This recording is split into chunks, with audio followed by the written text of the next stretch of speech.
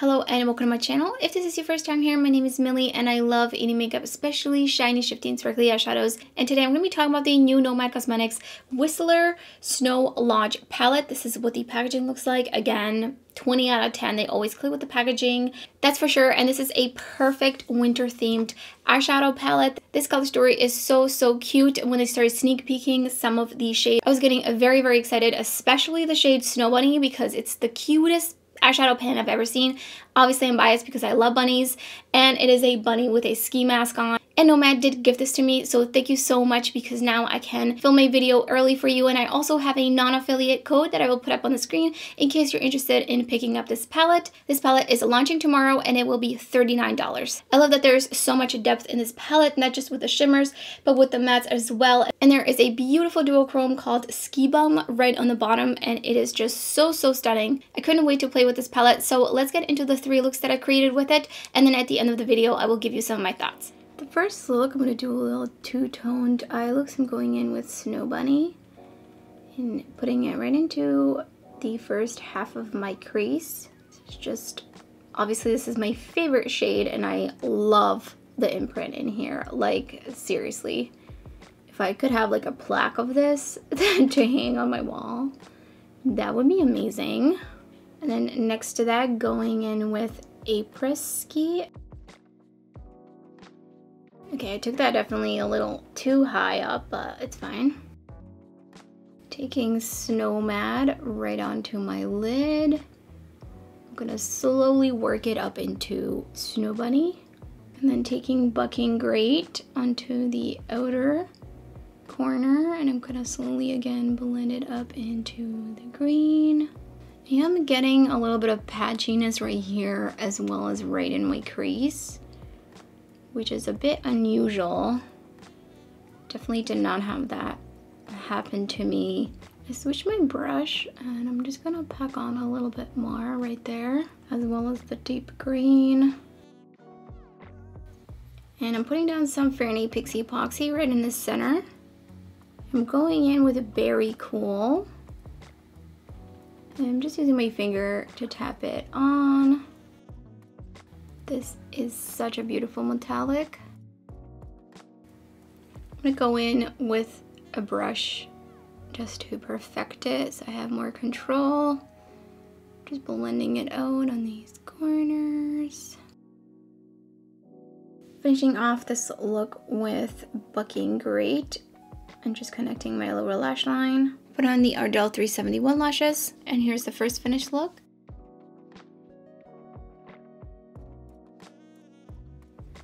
For the second look, I'm priming with the Natasha Denona Shadow Primer. I'm gonna go in with For Fox's Sake, which is hilarious. I love these names in here. Super cute. Just popping that right into the crease. I'm gonna go in just with a little bit more to deepen it up. And I'm just gonna use a little bit of setting powder to go around the edges. Taking Gone Skiing, putting it on the outer corner. Holy pigment. I'm going to take it a little bit into my crease as well and blend it in with that reddish shade. And just start blending Just a little bit more so I can really wing out this outer corner.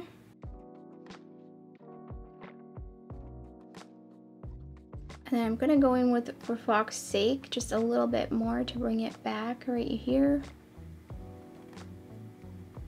I'm gonna do a fake half cut crease with my Fyrinnae Pixie Epoxy. Do like to tap on it just a little bit so it's there's not too much product.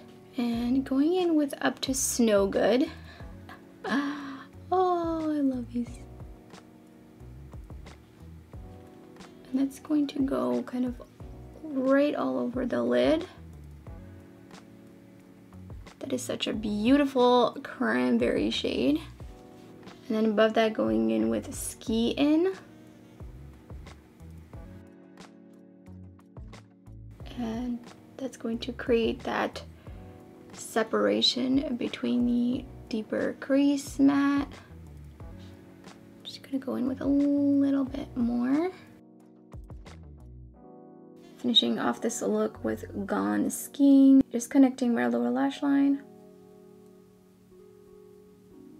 I'm taking Powder Specialist. I'm to use it for my inner corner highlight. I think this needs to be wet a little bit to really get that pop. That's a little better. I put on the Ardell 371 lashes and here's the second finished look.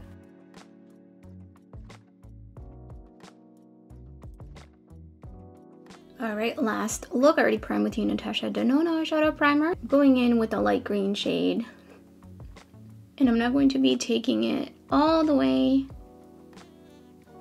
because I'm going to be deepening it up with Bucking Great. Like right in the crease, just a little bit. Next I'm taking the What's Up Beauty R101 brush, which is a really great little pencil brush, and I'm gonna use it with For Fox Sake, and I'm gonna create a winged liner with the shadow. Just gonna take it all the way across. Staying close to my lash line. And then I'm gonna perfect this wing last. Just going in and packing on a little bit more. And then this is when I sharpen it up there the inner portion here as well. Then I'm taking an even tinier pencil brush. This is the Rephr 23. I'm gonna deepen this up with Ski Out, which is a black. I'm gonna kind of take my time and I'm gonna take it literally right against my lash line and just kind of swipe it on, tap, tap it on. I just wanna deepen this up lightly and not completely. So I'm trying to stay really controlled. I'm having a bit of fallout.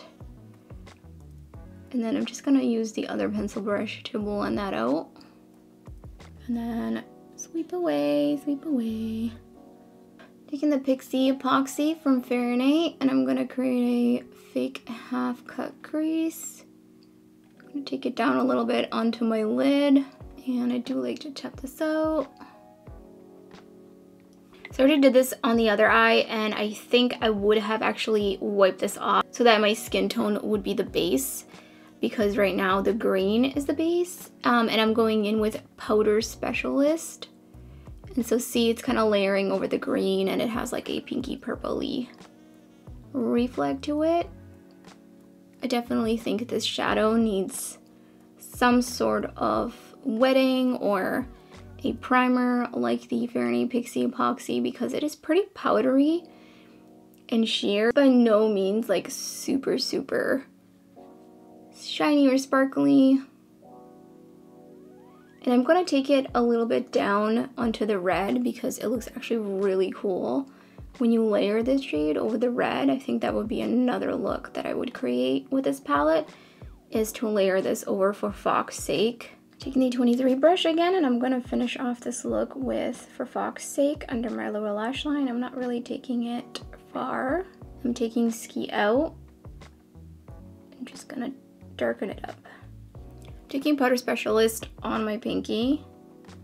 I'm just to swipe it down on my inner corner. It really just... It needs a lot of help to really pop I put on the Kiss Bless lashes. Here's the third and a final look.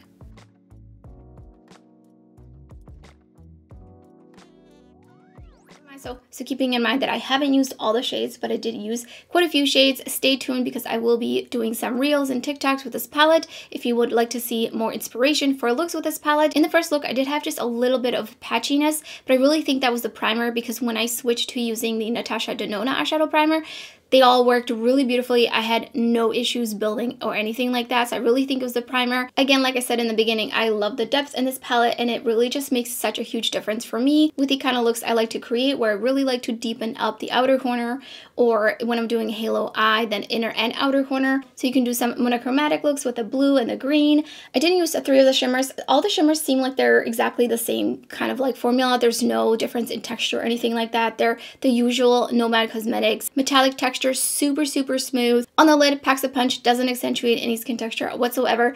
The only shade that I'm not the biggest fan of is Powder Specialist. I just really tried to make that one pop and it just feels pretty powdery and even with a tacky primer it just doesn't quite get to the level that I would like it to but take that with a grain of salt because I do have a specific preference in metallic eyeshadows that might be different from what you're looking for in a shimmer metallic formula. I really enjoyed doing the three looks and now I'm absolutely dying to use Ski Bum. I plan on keeping that for a reel so make sure you're following me on Instagram. And so that's everything for this video. If you enjoyed it, don't forget to give it a thumbs up. And if you're new to my channel, I would love it if you subscribe. There's so much indie makeup content uploading my channel, lots and lots of tutorials, and much more to come. You don't want to miss out. So thank you so much for watching, and I hope to see you next time.